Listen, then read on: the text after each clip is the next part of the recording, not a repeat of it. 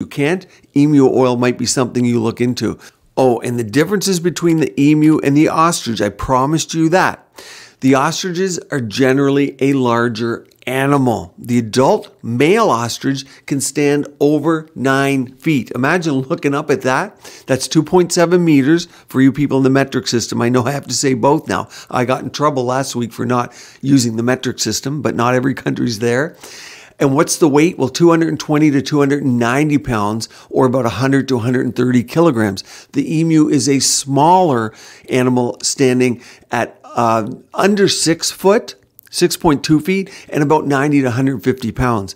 The other thing you can do is look at the beak because ostriches have a relatively short, flat beak and a prominent bare neck.